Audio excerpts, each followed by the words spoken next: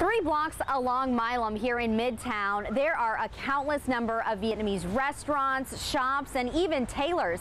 We went around and found arguably the two most popular spots here in what's called Little Saigon.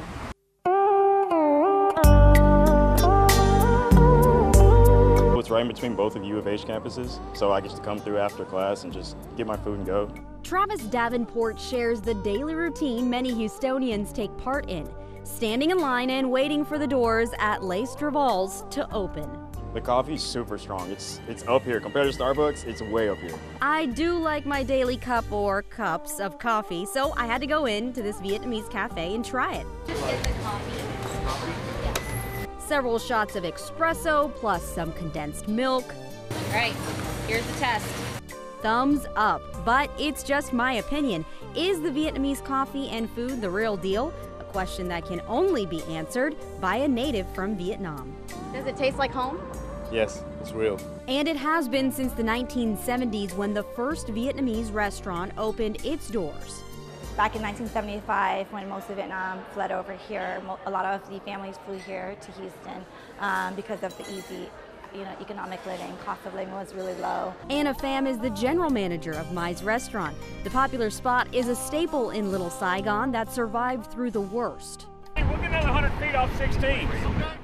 The roof is about burned through. Uh, most of the roof structure looks like it's collapsed onto the second story. My grandma, my mom were here, and they both fell to their knees. Um, it was one of the hardest days of my life, if not the hardest and saddest. In 2010, an accidental fire in the kitchen destroyed the building. It was my shift, and it was during a morning shift when it happened. So, yeah, it was heartbreaking to see your family's blood, sweat, tears kind of flash before you. After 14 months of being out of business, the restaurant was rebuilt in the same location. We didn't want to leave Midtown, of course. And ready for business. It's a melting pot in Houston. So being here, you're able to see all walks of life in Houston without even having to leave the building. Hello, how are you doing today? There's two. Come right.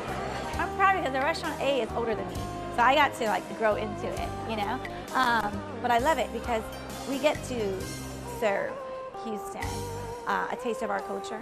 Almost all of the shops in the area have been in business for decades, going strong with more to come. Little Saigon is definitely growing. Many Vietnamese places around here have been around for decades, which is very telling of the Vietnamese influence and need in the Houston area. In Midtown, Rashi Vats, Fox 26 News.